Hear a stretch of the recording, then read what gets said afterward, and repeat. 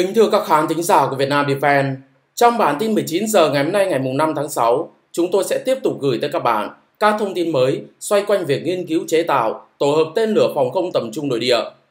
Trong thời gian qua, những thông tin nhỏ giọt về tổ hợp tên lửa phòng không tầm trung nội địa đã bắt đầu được tiết lộ thông qua một số dữ kiện từ động thái lạ của các doanh nghiệp quốc phòng Việt Nam, nổi bật là tập đoàn Viettel. Dù vậy, có lẽ một cái điều mà rất nhiều người muốn bây giờ đó là sự xác nhận chính thức từ quân đội là cơ sở để tạo ra một niềm tin vững chắc nhất cũng như là việc rốt cuộc chúng ta sẽ chế tạo loại tên lửa tầm trung như thế nào, tính năng ra sao. Lưu ý một chút, tại sao lại phải nhấn mạnh về tên lửa phòng không tầm trung mà không phải là tên lửa phòng không nói chung? Lý do là bởi vì có thể nói Việt Nam đã phát triển thành công tổ hợp tên lửa phòng không tầm thấp trong nước, cụ thể là tên lửa vác vai TL01. Mới đây, chúng tôi đã tìm được một thông tin có thể nói là tương đối gần với sự xác nhận tham vọng phát triển tên lửa phòng không thế hệ mới tầm trung cho quân đội ta. Mời các bạn hãy nghe bài báo sau đây được đăng tải trên phiên bản giấy của báo Phòng không không quân, cơ quan của Đảng ủy, tiếng nói của Bộ Tư lệnh Quân chủng Phòng không không quân. Bài báo có tựa đề Thiết kế chế tạo mô đun gia tiếp UK52701. Sau đây là nội dung chi tiết. Mô đun UK52701 là một trong những thành phần không thể thiếu trong tổ hợp tên lửa phòng không S125 2TM Petra 2TM thuộc hệ thống thông tin liên lạc 10 kênh bằng điện thoại sử dụng để giao tiếp tổ hợp tên lửa phòng không S125 2TM với sở chỉ huy và các thành phần khác bên ngoài tổ hợp.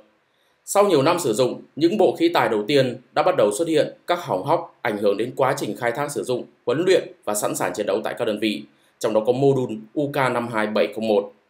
Với thực trạng, một bộ khí tài cải tiến sử dụng một mô đun UK52701 trong khi mô đun UK52701 không được biên chế tại các tiểu đoàn mà chỉ có một mô đun trong nhóm dùng chung cho ba bộ khí tài. Mô đun được thiết kế trên nền tảng kỹ thuật số ứng dụng vi xử lý FPGA phức tạp. Việc sửa chữa mô đun đang rất khó khăn và mất nhiều thời gian do thiếu tài liệu kỹ thuật và công nghệ, quy trình sửa chữa. Đây là một thách thức không nhỏ cho các đơn vị bảo đảm khai thác cũng như đơn vị khai thác sử dụng trong việc thực hiện nhiệm vụ. Từ thực tế trên, Trung úy Nguyễn Trần Đức, trợ lý phòng kỹ thuật, nhà máy A31 đã nghiên cứu chế tạo thành công theo nguyên mẫu mô đun gia tiếp UK52701 thuộc Bộ Khí tài tên lửa phòng không S1252TM. Mô đun UK52701 được thử nghiệm thực tế bảo đảm được yêu cầu kỹ thuật, hoạt động tốt, ổn định. Hiện nay, mô đun UK52701 đã được sản xuất làm vật tư thay thế cho các tổ hợp tên lửa phòng không S1252TM, đưa vào sửa chữa tại nhà máy A31 và làm nguồn vật tư dự trữ ở các đơn vị. Bên cạnh đó, chương trình kiểm tra sửa chữa mô đun UK52701 trên thiết bị ATK TK1 được dùng để kiểm tra, sửa chữa khối tại nhà máy khi có hỏng hóc. Việc nghiên cứu thiết kế chế tạo theo nguyên mẫu và xây dựng thành công chương trình kiểm tra mô đun UK52701 trên thiết bị kiểm tra, chuẩn đoán hỏng hóc Vector M16 ATK TK1 đã mở ra rất nhiều hướng phát triển. Có thể tiếp tục tiến hành hoàn thiện chương trình kiểm tra mô đun trên giá thử để các kỹ thuật viên có trình độ thấp hơn cũng có thể thực hiện kiểm tra khi mô đun UK52701 bất kỳ có hỏng hóc hoặc biên dịch mở rộng chương trình kiểm tra sang các thiết bị kiểm tra chẩn đoán hỏng hóc khác như ATK TK1 như Vector, Pinpoint, QMAX. Đặc biệt thành công của sáng kiến còn mở ra hướng nghiên cứu, thiết kế chế tạo các mô đun, khối, tủ khối khác của tổ hợp khí tải tên lửa phòng không S1252TM nói riêng và tổ hợp khí tải tên lửa phòng không thế mới nói chung giúp nâng cao công tác đảm bảo kỹ thuật cho vũ khí trang bị kỹ thuật. Đây là toàn văn bài viết trên báo Phòng không không quân, một tờ báo chính thống của quân chủng Phòng không không quân, cho nên khỏi phải lo về độ tin cậy, từng từ, từng chữ. Và xin hãy nghe lại câu cuối cùng của bài viết. Thành công của sáng kiến còn mở ra hướng nghiên cứu, thiết kế chế tạo các mô đun, khối, tủ khối khác của tổ hợp tên lửa phòng không S125 2TM nói riêng và tổ hợp khí tài tên lửa phòng không thế hệ mới nói chung. Như vậy, xem ra ý đồ của chúng ta có thể được hiểu theo mấy hướng như sau.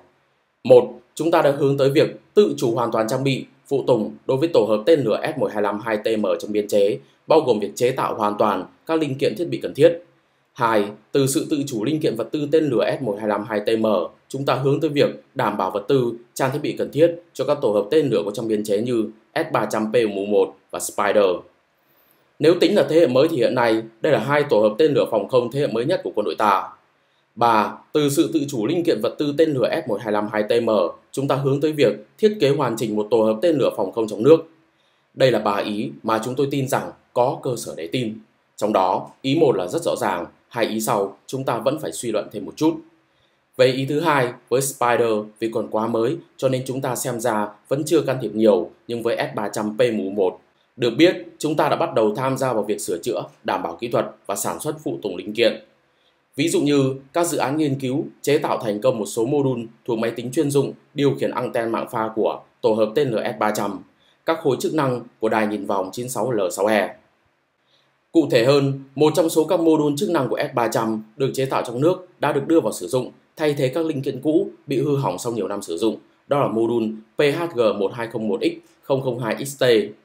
Mặc dù các linh kiện này không to lớn như một đài radar hay đạn tên lửa của tổ hợp, nhưng lại chứa chức năng vô cùng quan trọng, đảm bảo cho tổ hợp vận hành đúng theo tính năng kỹ chiến thuật, nói ngắn gọn, nghe thì nhỏ nhưng chức năng thì rất quan trọng. Và sau cùng, về ý thứ ba, việc chúng ta hướng tới tên lửa phòng không tầm trung là điều không phải bàn cãi, thực sự là như vậy. Nói thẳng, tham vọng phát triển vũ khí nội địa, tôi tin rằng ai cũng muốn, không chỉ Việt Nam mà rất nhiều quốc gia muốn làm điều đó. Nó không chỉ đem lại việc đảm bảo hậu cần kỹ thuật cho quân đội nước sở tại mà còn có nhiều giá trị khác.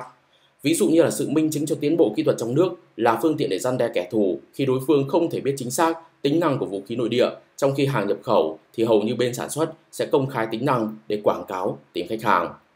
Một vấn đề nữa, sản xuất vũ khí nội địa góp phần tạo ra giá trị kinh tế trong tương lai. Hầu như các quốc gia làm chủ công nghệ quốc phòng nội địa đều hướng tới cái này. Có thể nói, vũ khí là mặt hàng xuất khẩu ăn tiền nhất hiện nay, giá trị của các tổ hợp tên lửa, xe tăng, máy bay cao gấp nhiều lần các mặt hàng dân sự. Do đó, về lý mà nói, ai cũng vậy thôi. Tất cả đều muốn hướng tới việc sản xuất và xuất khẩu vũ khí. Dĩ nhiên, muốn là một chuyện, làm được hay không là chuyện khác. Các nước đi trước, họ giấu công nghệ gốc, công nghệ lõi rất kỹ vì đó là điểm ăn tiền của họ. Kể cả việc hợp tác sản xuất đều chịu sự ràng buộc rất lớn từ bên cung cấp công nghệ. Ví dụ như liên doanh sản xuất tên lửa Nga Ấn Độ. Bây giờ, nếu Ấn Độ muốn bán BrahMos cho đối thủ của Nga, Moscow chắc chắn sẽ không đồng ý. Và nếu như New Delhi kiên quyết bán, hậu quả sẽ là dừng hợp tác, dừng cung cấp linh kiện phụ tùng cho BrahMos. Mặc dù chúng tôi không có số lượng chắc chắn, nhưng chúng tôi có thể khẳng định rằng Nga vẫn nắm tỷ lệ khá cao linh kiện quan trọng trong toàn bộ hệ thống tên lửa BrahMos. Ví dụ như phần động cơ chẳng hạn, đó là thứ mà các cường quốc hạn chế xuất khẩu, có chăng chỉ là cung cấp linh kiện để lắp ráp trong nước. Hay nói sang câu chuyện của công nghiệp hàng không vũ trụ Indonesia, họ là quốc gia đầu tiên ở khu vực đa khả năng sản xuất máy bay vận tải quân sự trong nước, thậm chí là bên đứng ra sản xuất và cung cấp dòng máy bay hạng nhẹ tầm ngắn NC-22i cho Việt Nam. Thế nhưng họ gần như không tự chủ được các linh kiện tạo nên máy bay NC-22i. Phần lớn công việc tới nay vẫn là lắp ráp với các thiết bị quan trọng nhất vẫn do tập đoàn Airbus nắm giữ. Trong trường hợp Indonesia muốn xuất khẩu cho một quốc gia có vấn đề với chính trị gia của Liên minh châu Âu và NATO, chúng tôi tin rằng hợp đồng sẽ bị thổi còi ngay và luôn. Tất nhiên, không phải lúc nào việc hợp tác sản xuất, mua dây chuyển công nghệ cũng là xấu, bởi đó là con đường nhanh nhất để sản xuất vũ khí nội địa, là cơ hội để tiếp cận một số bí mật công nghệ mà đối tác bắt buộc phải chia sẻ. Dù vậy, nếu chúng ta tự đi được đối với một số công nghệ đặc biệt, ví dụ như hệ thống tên lửa, máy bay thì sẽ tốt hơn rất nhiều. Trở lại với hệ thống tên lửa phòng không nội địa tin đồn của Việt Nam, chúng tôi vẫn phải nói là tin đồn vì vốn dĩ chúng ta chưa khẳng định chính thức cho tới giờ phút này. Rốt cuộc, mô tê hình dạng tên lửa phòng không tầm trung nội địa sẽ là như thế nào? Ít nhất tới giờ phút này có hai hướng dự đoán. Một là hệ thống tên lửa bố cục như Spider của Israel, hai là hệ thống tên lửa bố cục như S-125 Petrora của Liên Xô cũ nhưng đã có cập nhật cải tiến tăng khả năng chiến đấu, tăng tính cơ động. Tại sao lại là hai hướng này? Thứ nhất, trước đây từng có hình ảnh kỹ thuật viên của Viettel làm việc với một chiếc máy tính hiển thị một bệ phóng tự hành, nhìn khá giống xe phóng của Spider. Tất nhiên, có thể đây chỉ là một dự án đảm bảo kỹ thuật hoặc chỉ đơn giản là nó hào hào giống mà thôi. Thứ hai, hiện nay, việc hiện đại hóa tên lửa S-125 đang được Viettel tiến hành với nhiều cải tiến về mặt phần cứng và phần mềm. Thực sự, chúng tôi cảm thấy có nhiều cơ sở về việc Viettel cũng như Viện Kỹ thuật Phòng không quân và các cơ quan nghiên cứu trong các quân binh chủng, các doanh nghiệp thuộc Tổng cục Công nghiệp Quốc phòng sẽ hợp sức tạo ra một phiên bản của S-125 tại Việt Nam với các cải tiến theo tiêu chuẩn hiện đại. Dĩ nhiên, có thể còn có một hướng thứ ba, đó là một bộ vũ khí giấu mặt theo phong cách thiết kế khác biệt nhưng hơi khó nói vào thời điểm này. Nói chung, chốt một câu ngắn gọn cho bản tin, đó là Việt Nam đã và đang nghiên cứu hệ thống tên lửa phòng không tầm trung nội địa những tiến bộ về công nghệ radar, tên lửa là minh chứng rõ nét cho một kế hoạch to lớn như vậy.